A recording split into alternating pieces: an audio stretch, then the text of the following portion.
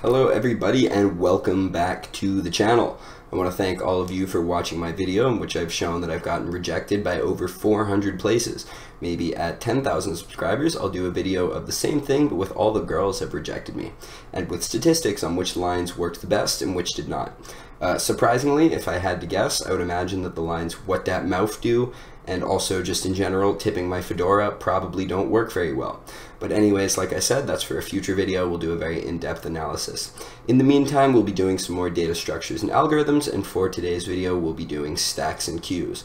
Hopefully we can go ahead and get this done so I can get a lift in. Alrighty, so stacks and queues. You've probably heard of them, but in case you haven't, stacks and queues are basically just two different interfaces in which we can interact with lists of items, and we'll go ahead and take a look at the operations that you can do on them. Uh, and the point is basically that they're really good for a couple of constant time operations, and we'll describe the interface now. So we're going to go ahead and start out with stacks, where you can imagine stacks like a stack of pancakes in the sense that every single time you're adding a new pancake to the stack, you're putting it at the top. And if you wanted to go ahead and eat a pancake, you would first eat the top pancake. You wouldn't be able to eat from the bottom. That's all the way at the bottom by the plate.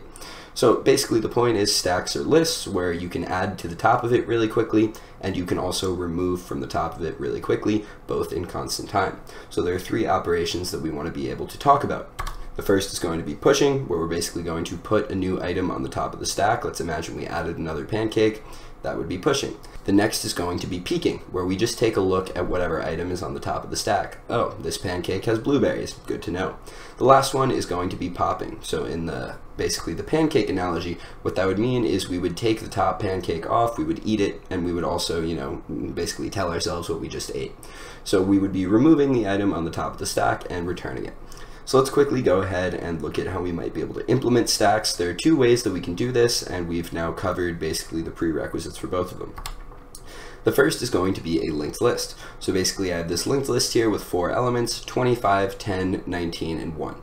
And so the top of the stack is actually going to be at the head of the linked list. So right now this stack.head is pointing to the node with value 1. So let's imagine that we want to basically be able to go ahead and peek the top of the stack. All we would have to do is get the stack.head. Similarly, if we want to be able to pop, all we have to do is basically set the stack.head to the next element of the current head, which is going to be 19. And we don't really have to get rid of the node 1 or anything. The point is stack.head is just pointing somewhere else. You can see I have that arrow to the new head.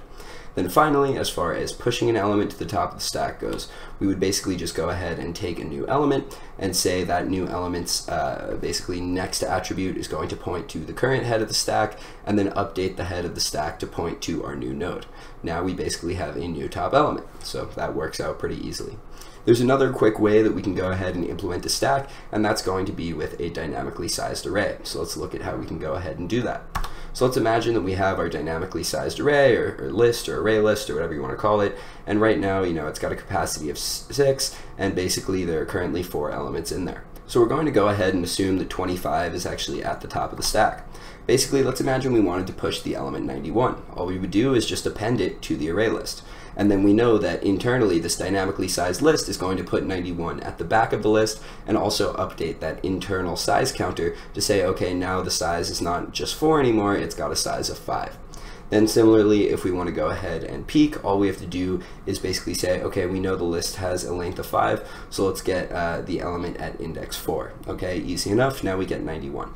And similarly to pop, all we have to do is really just go ahead and decrease the internal size counter, or, you know, we could set that element to whatever, some garbage.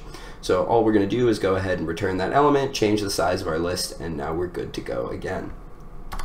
Okay, so what are queues? Because we've covered stacks now. Well, think about queues as basically you're waiting in line. When you go ahead and wait in a line at say Chipotle or McDonald's or whatever, the first person who gets there is the first person to get their food.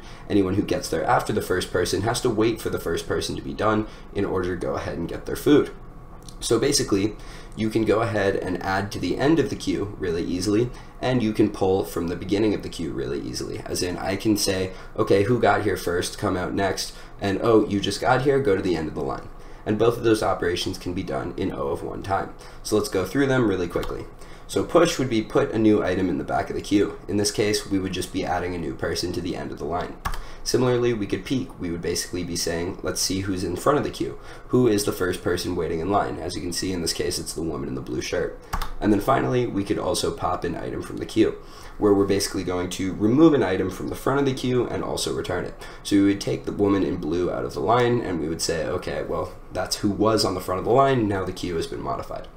So let's go ahead and similarly look at how we can go ahead and implement this. Basically, the first way that we can do this is with a linked list. And the one difference between the queue implementation and the stack implementation is that this time not only do we need a pointer to the head of the linked list, but we also need a pointer to the tail of the linked list. And basically the general kind of gist of this algorithm is that when new people are coming in and they want to go to the back of the line, they are put at the tail. And similarly, if we're trying to remove the oldest person in the queue, we want to remove them from the head. Okay, so let's do peeking first. Basically, all we're going to do is go ahead and return the head of the queue. Simple enough. If we're going to go ahead and pop, we're basically doing the same thing as the stack, where we're just going to get the value of the old node that was the head. We're going to go and set the queue head pointer to the next node, and then we're going to return the old head.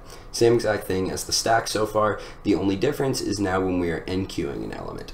So basically what's now going to happen is we're going to take our original queue.tail and we're just going to say that it is now going to be pointing to the new node and we're going to set this tail attribute of our queue to be that newest node that was just enqueued. And this way we can always make sure that we are enqueuing to the tail for the future. So that's easy enough. Let's also quickly go through the dynamically sized array implementation. Okay, basically we now have a queue, which again is going to be a list of capacity 6 and a current length or size of 4. Same type of deal. So if we want to basically push something to the back of the queue, we can go ahead and append it to the end of the list, and this time now the front of our queue is actually going to be that element 12. So in this case, we're going to return q0, which is going to be 12. That means that we're peeking and we're saying, okay, 12 was first in line, it got there first, that's going to be the next one to be gone. And then the last part of this is we're actually going to be doing popping. So to actually go ahead and do that, all we have to say is that now the, the pointer to q, which we originally had, instead of being at the zeroth element of this sequence shown above, it's just going to start by being at the first element. So now the q is only referencing element 4, 6, 25, and 91, and that is a constant time operation because you're just moving a pointer, you're not actually shifting anything around. Okay, so yeah, in conclusion, stacks and queues, pretty basic, but you do need to understand them because especially when we're doing things like depth first searching and breadth first searching, stacks and queues are very important for the both of those, especially in the iterative implementations.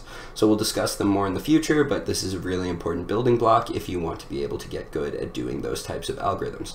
Anyways, guys, I hope that you enjoyed this video, a little bit of a shorter one, but I think that if I have the time for it, I'm going to aim to do an object-oriented video this weekend because I've been getting a lot of people asking for those. And uh, I'll put a little bit more thought into that one, and then we can all go home happy. So anyways, have a good day, guys, and I'll see you all soon.